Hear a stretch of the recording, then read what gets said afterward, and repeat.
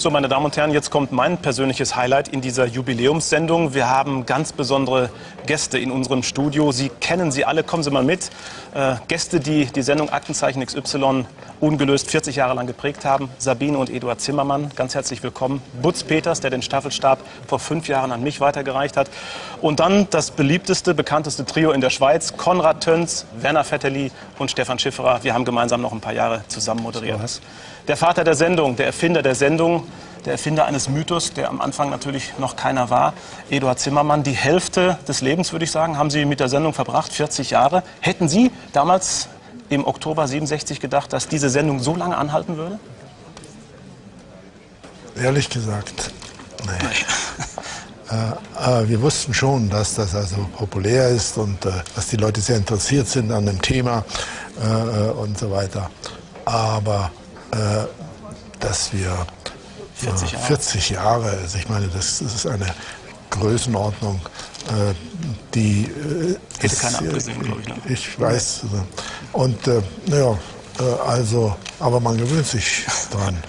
Nicht? Haben Sie sich an Scheinwerferlicht gewöhnt? Kribbelt es, wenn Sie hier stehen? Hm. Eher weniger. Doch ein bisschen ja, zu heiß. Ja.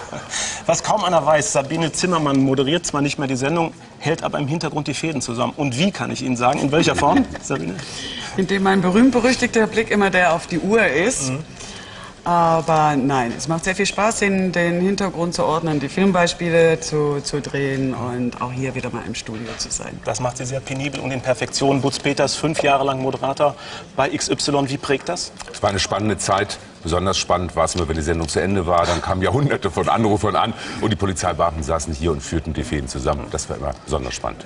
Das kann ich teilen, den Eindruck habe ich heute auch. Konrad Töns, Sie waren 22 Jahre lang der Leiter bei XY in der Schweiz. Was ist da am nachhaltigsten? Ja, einerseits das Team, ein irrsinnig gutes Team. Es war gut, ich glaube, heute ist es immer noch. Und dann zum Zweiten das Zeitkorsett. Also, dass zehn Sendungen im Jahr immer live waren und man musste da sein. Werner Vetterli, der Pionier in der Schweiz, der Mann der ersten Stunde 1969, als das erste Mal rübergeschaltet wurde. Wie waren da so die Anfänge? Was kam da auf Sie zu im Studio? Also nicht äh, wie in Deutschland hunderte von Anrufen, sondern natürlich typisch schweizerisch, klein, aber fein und präzis. Wir hatten die große Überraschung, oder was ich immer geglaubt hatte, wir hatten nur ernst gemeinte Anrufe. Das Denunziantentum, das die linke Gegnerschaft gegen die Sendung brachte, vor Aufnahme der Sendung, fand nicht statt. Wir hatten gute, präzise Anrufe. Sehr engagierte Worte. Stefan Schifferer, kurzes Fazit nach Ihren fünf Jahren bei Aktenzeichen? Ich sage es kurz und präzise. Auch fünf Jahre können prägen. Äh, so sehr, dass ich mich politisch engagiert habe für die Sache der Sendung, mhm. nämlich für weniger Gewalt an Kindern. Also die Sendung fehlt in der Schweiz sehr engagiert. Dankeschön für den Besuch, eine sehr illustre Runde. Wir haben gleich noch Zeit für den gemütlichen Teil und schauen schon mal rüber zu den Kollegen, die bereits im Nachbarstudio feiern. Ja, und das ist ja auch durchaus nicht üblich, dass viele Gäste, unsere prominenten geladenen Gäste, sich aus dem Studio nebenan die Sendung anschauen. Gleich dann, wie gesagt, der gemütliche Teil. Viel Prominenz ist da. Schauen wir um.